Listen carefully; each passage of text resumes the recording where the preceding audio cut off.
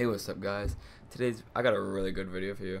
I'm using my rank 5, like level 20 ghost, if I'm against this Korg with Biohazard, Poison Splash, and just a whole bunch of crapness, like 180k variant Korg. And I was like, let's see if my rank 5, like level 10 4-star ghost, non-awakened, can take this guy. Because after doing that top 5 video, I wanted to try to play Ghost more, because I didn't ever really play Ghost before that I did that video. So I wanted to see like like what I could do with her and try to like learn the player. And this video is sick. I so right now I'd use the phase and to time the um, rock stacks. So you know don't want to use medium attacks so I take like a crap ton of damage. I don't know. I might in this video hit him once the medium and you're gonna see how much damage does, but I don't know for sure. And basically what I'm gonna do in this fight is not use any special twos or special ones because then you could um, proc biohazard during that time and I don't want to proc Biohazard when I'm mid-special because then I'll just lose too much health. So I'm just saving sp for special 3, so when he gets his rock stacks activated, I can instantly knock down all the rock stacks with one move. So we're not really going for like a damage play, it's more like just a safe play.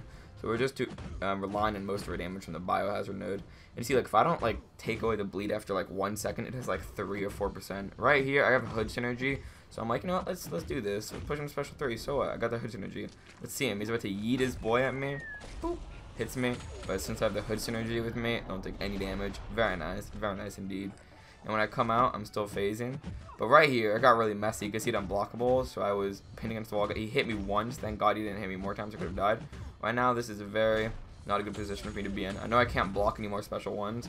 I think I blocked one earlier, but that's because I messed up the timing, and I think I knew I would, I would, get hit if I tried to evade it. So now I'm against the wall, waiting for his rock stacks to come back so I could knock him back and use a special 3 to knock out his rock stack and knock him all the way back so I can get away from the wall. So I use my special 3.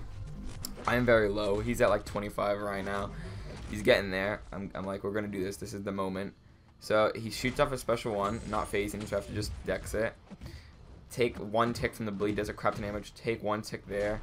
And then I realize right here, I need to stop taking these small ticks because these small ticks are doing crazy damage. Yeah, right here, I'm at like 1%. I'm like, yeah, we can't. I'm only going to do one hit combos just to never risk um, taking bleed damage.